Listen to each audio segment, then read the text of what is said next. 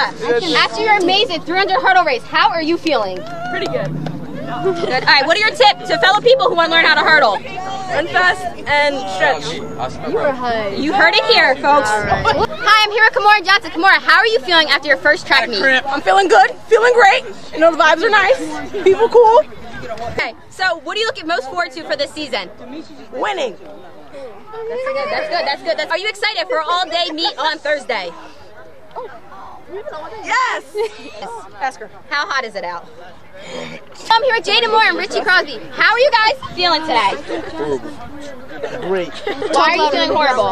I don't know. I feel good because you know we're smoking south right now. We're doing really good.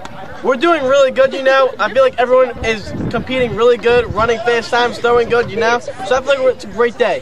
What did you guys run today? Nothing. Uh, 100, 200, and 400. The four by one and the one. Good job, guys. Can I